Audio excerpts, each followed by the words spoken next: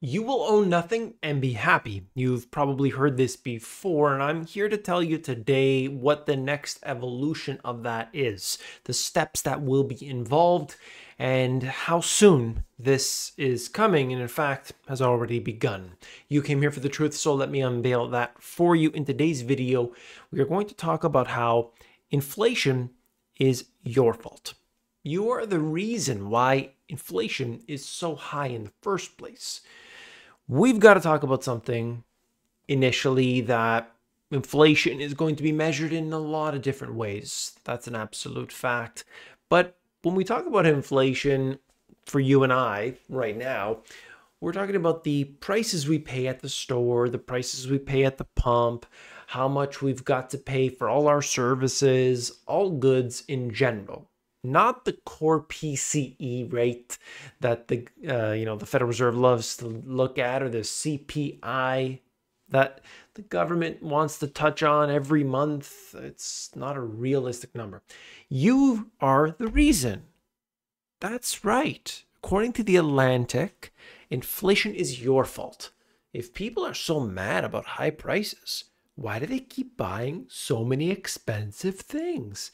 You see, all you had to do was stop buying the stuff that you need and prices will go down. That's right.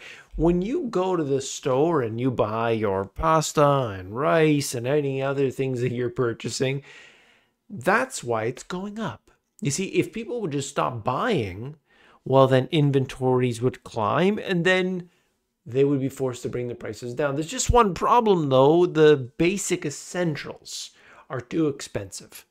That is the messed up logic that these propaganda institutions spit out there for you. And most people watch the alternative news, and really it's the same old garbage. And they will be served that garbage. The vast majority of people who consider their information to be alternative are getting that garbage. Sad the, the vast majority of people in general are a lost cause. But even those who are saying, no, no, no, I'm tired of the news, I'm not watching that, they're still watching filth. This is Bloomberg. Inflation stings, and most of you are earning, for people earning less than 300K, all right? Why not try this? Why not try taking the bus, right? Uh, don't buy in bulk, all right? Uh, try lentils instead of meat. And nobody said this would be fun. So I'm not honestly sure if this is real, but this kind of seems like something that would slap you in the face when you read it. And it's not too far from what I've seen elsewhere, though taking the bus. They say you should be taking public transit. This is the solution to your problem. Whatever whatever it is, whatever it is. This could be just some, you know, fake meme or whatever. They do certain things. They they tell people, "No, this is what you got to do to to solve it." But never once do they point the finger like I'm doing right now at you Jerome Powell, the FOMC, and all the other central bankers around the world, and more importantly, the institution of central banks that are the cause of the devaluation of the currency, which leads to all these problems. Simple matter of fact. Would taking the bus be cheaper than driving your own car? Yes. I know people that say it all the time.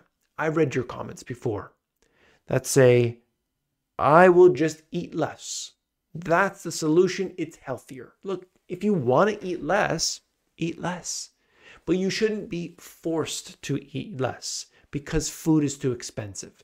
You shouldn't be forced to not have to put the heater on and instead wear more blankets. These are basic essentials. This is not like saying, you know, I really want that Ferrari, but I can't afford it. Life's so tough.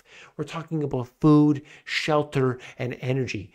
Basics. It should not be unaffordable to the masses to afford, you know, normal stuff. Now, do some people make bad decisions with their money? Some people make bad decisions with their life? Yeah. But it's not everybody. Stuff, stuff is just is too expensive. To save money, maybe you should skip breakfast. This one is legit. I know that. I read it from two different places, pulling this up out of the Wall Street Journal now. You see, you are the problem. Several breakfast staples saw sharp price increases due to the perfect storm of bad weather and disease outbreaks and continued uh, effects from Russia's invasion of Ukraine. So they're saying this, they look at the prices, they went up. I get it. So you're better off just having a cup of coffee. Yeah, sure. Like I said, if you want to skip, I don't eat breakfast as soon as I get up. I know other people don't do that. They call it intermittent fasting or whatever. I've been doing that long before I knew what a name of it was. Why? Just because I wanted to, but not because I said, well, you know, the longer I push this off, the less money I'm going to be spending. That's a terrible thing. That's unfortunate. And it's not because of greedy farmers. It's not because of the companies and their greedflation, which is real. It's because of the currency being devalued. How did they get devalued? Well, the simple explanation of this is that they go out there and they pump up the cash. How do they pump the cash? It's usually done through this quantitative easing strategy that they've been doing many times before over the last, you know, well over a decade now. They pump the cash in and it goes in to buy treasuries, it goes to buy mortgage backed securities, and it's highly unproductive money.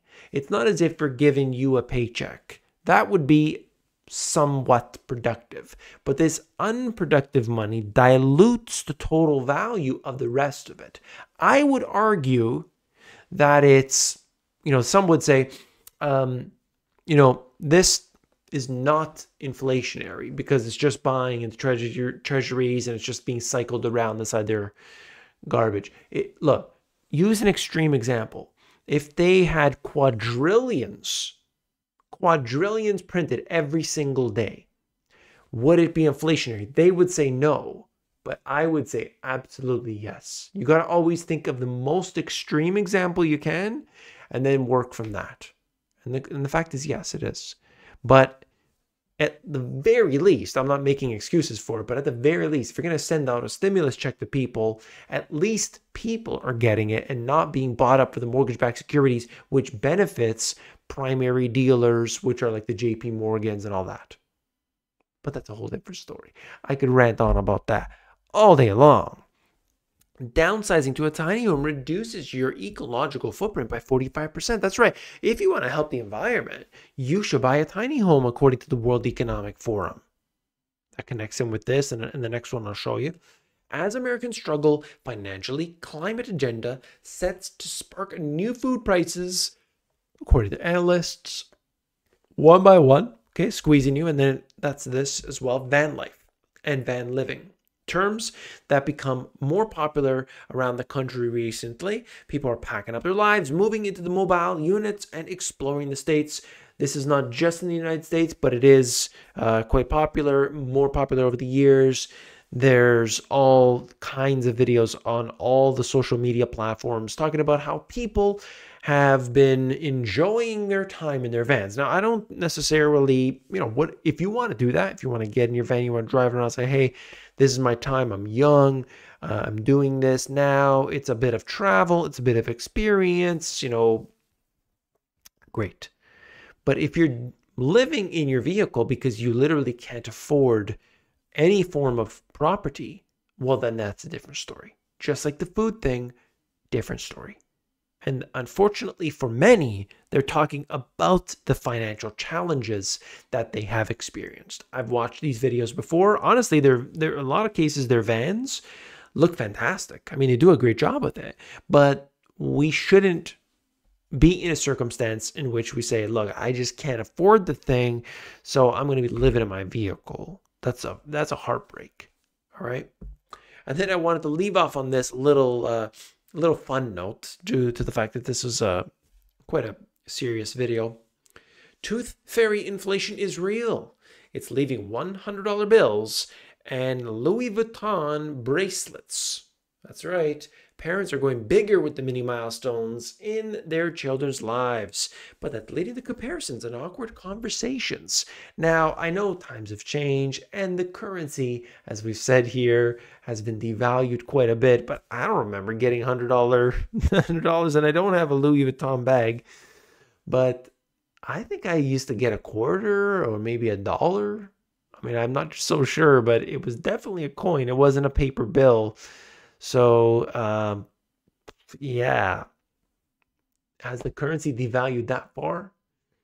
Or maybe people are just spoiling their kids in this way or something. I don't really know.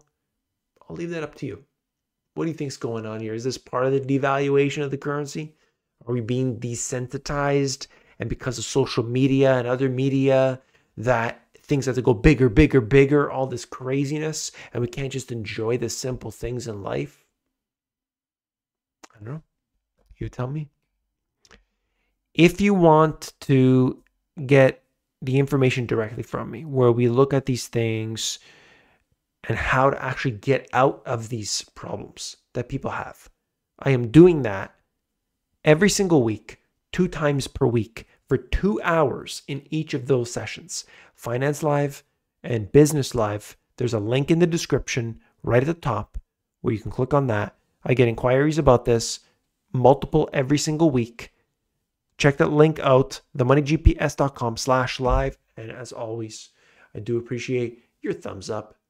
And don't forget to come back tomorrow. You probably will not see these in your feed so you got to come and check out the Money GPS directly, and I'll bring you the information that you need to see. Take care.